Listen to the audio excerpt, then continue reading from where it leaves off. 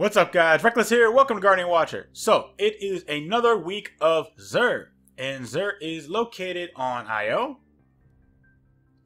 And he is over here by the Giant Scar. So let's go find out what he has this week.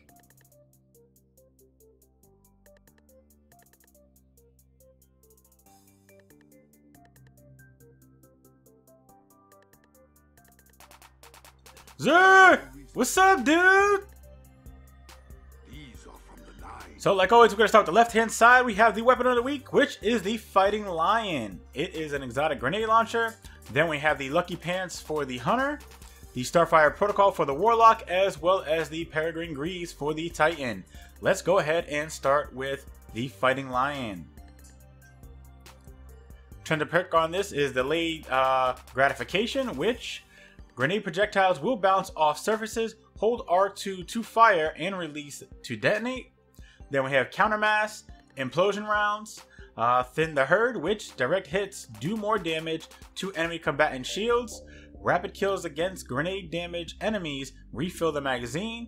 Kills always drop primary ammo. And then we have Short Action Stock.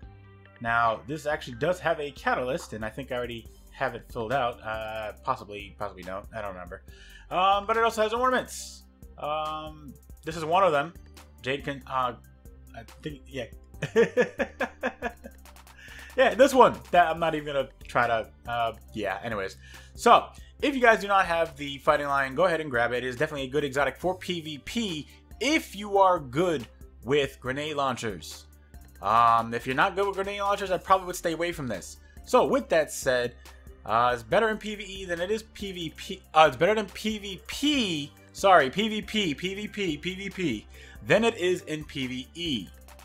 So, with that said, I am going ahead going to go ahead and give this a tier 2 in PvP, but probably a tier 2.5 to even a tier 3 in PvE. Really isn't that good unless it's uh, against trash mobs. Um, and maybe depending on whatever boss fight you're doing. But if you guys don't know the tier scale, I will put it down in the description box below. Next, we have the Lucky Pants. Transient perk on this is illegally, illegally modded holster, which precision hits load one round to the chamber of stowed hand cannons. Hand cannons ready faster and are more accurate immediately after swapping to them.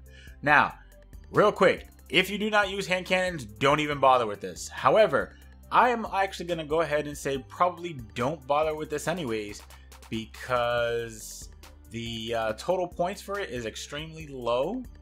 And if you if you are one of those people who actually are good with hand cannons then i guess you can use this. If not then don't worry about it. It's really not going to change anything uh, in your gameplay.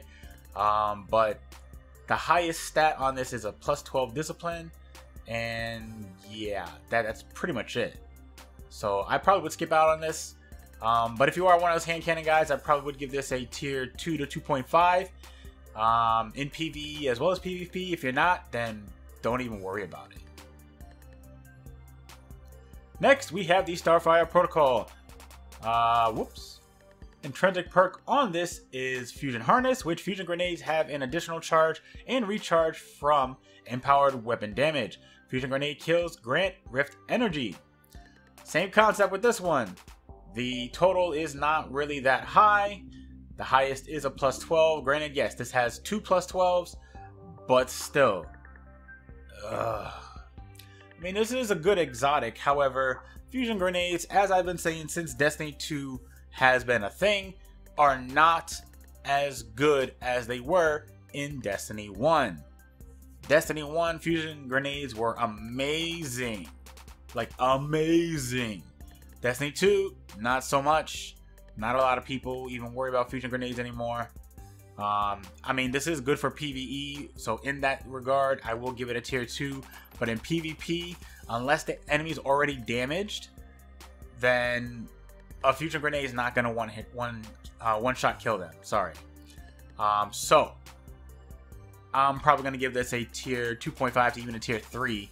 Probably even just a tier 3 in PvP. PvE, it's good against trash mobs. Next, we have the Peregrine Greaves.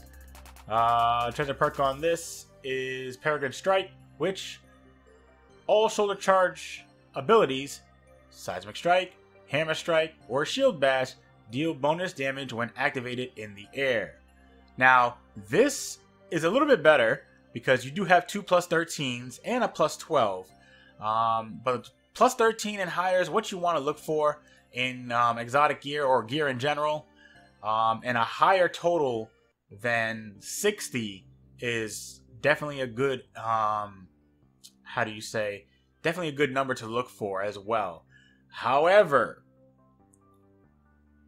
all shoulder charge abilities deal bonus damage when activated in the air. A lot of the times people are activating this in the air.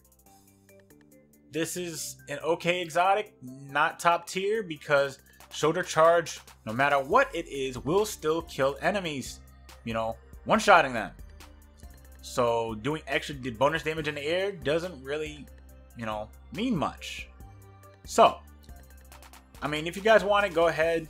It's probably going to be a tier 2.5 in PvE as well as PvP, but I'm not all for it. I'm really not. Next, we have your uh, Five of Swords um, consumable, which is your Nightfall Challenge card, as well as your Invitations to the Nine. And then last but not least, we have your Exotic Engram. And this week, for our Exotic Engram, we go ahead and get the Shinobu's Vow. Um, if you guys do not have one of these, go ahead and grab this first before grabbing the Exotic Engram because you do have a chance to get one of these if you do not already have it as your Exotic Engram. So, I actually already have a Shinobu's Vow here with a plus 16 discipline, but the new one, and unfortunately it only has a total of 48. But the new one, oh my god, is so much better with a total of 59. Plus 16 mobility, plus 14 resilience, and I guess the rest is just okay um, for it. However, this one that I do have does have that plus 16 um, in discipline, and obviously Shinobu's Vow is a um, grenade focused exotic, I probably would still use this one over this one um, just because of that higher uh, discipline than the new one that I just got.